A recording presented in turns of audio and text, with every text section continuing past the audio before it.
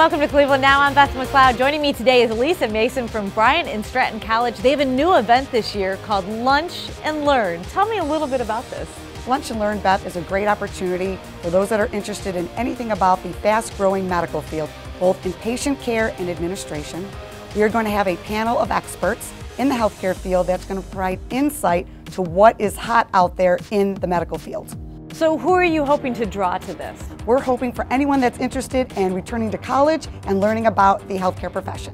So what kind of events do you think are going to get covered? The schooling and then how you put people into their job?